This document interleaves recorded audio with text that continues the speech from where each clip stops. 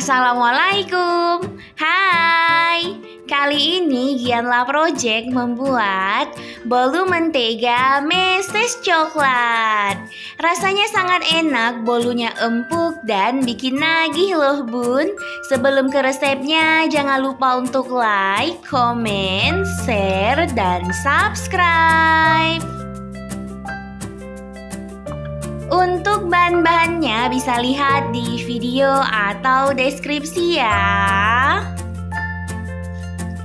Langkah pertama, masukkan margarin, butter, dan gula halus ke wadah mixer.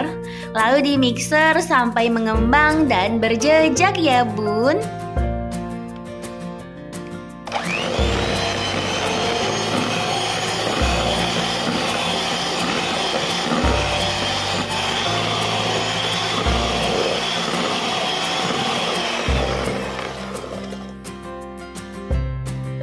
Kemudian, masukkan 3 butir telur utuh, lalu tambahkan pasta vanila ya bun.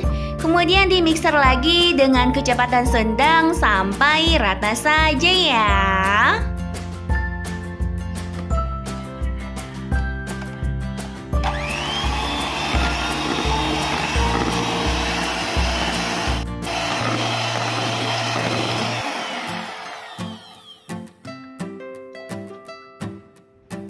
Langkah selanjutnya, masukkan tepung terigu sambil diayak ya bun. Kemudian di mixer lagi dengan kecepatan rendah sampai rata ya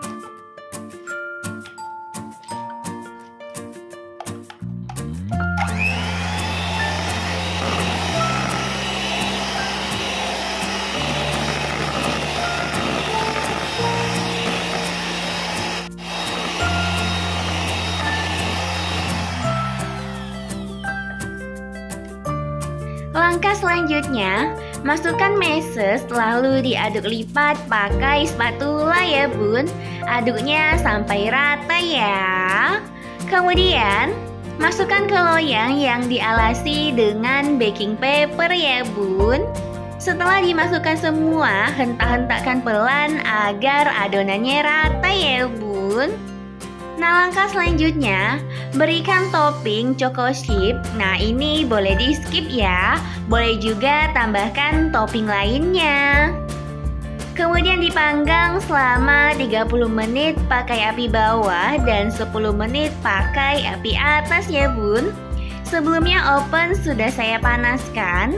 Setelah mateng angkat dan keluarkan ya dari oven setelah bolunya suhu ruang, dipotong-potong bolunya untuk ukurannya sesuai selera saja ya bun.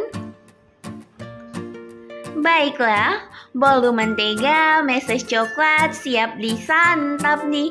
Rasanya enak dan bikin nagih loh bun. Bolunya lembut dan cocok banget dijadikan untuk teman ngeteh. Baiklah, sampai di sini ya resepnya. Jangan lupa untuk like, comment, share, dan subscribe YouTube Gianla Project agar tidak tinggalan resep selanjutnya ya. Bye bye.